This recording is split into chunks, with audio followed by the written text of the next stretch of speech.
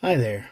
I just want to do a quick video on software updates and what I've been doing to get them a little bit sooner.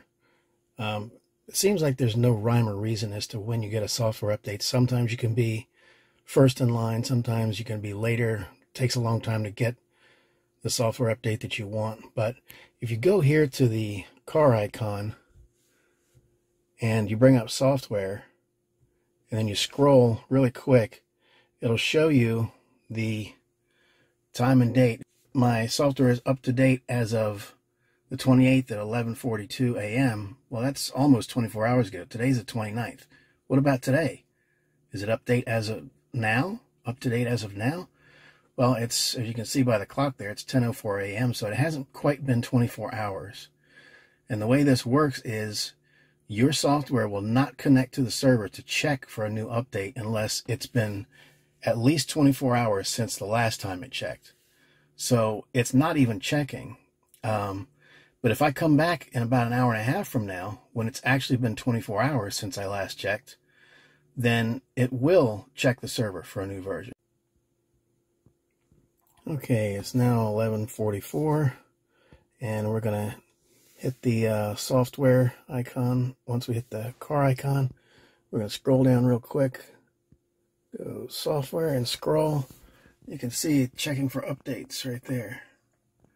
So if you scroll fast enough, you can see it. And now it says your car software is up to date as of October 29th, 1144, which is right now. So if you get in there and you scroll down fast enough, you can see this little message go from checking the updates to the updated time and date. So let's go in here go to software, do it one more time.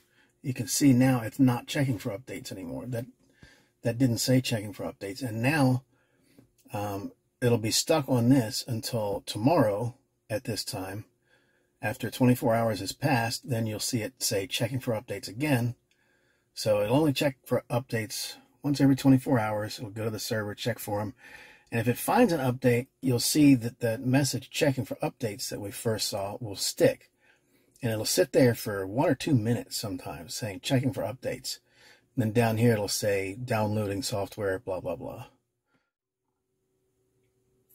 If you're wondering, going here um, does prompt the car to check the server when it hadn't before. I did this just yesterday and I didn't have this 36.5 version um, and it had been like three weeks, and a lot of people had it. So I came in here, and the car, the app didn't say anything about I had a software update.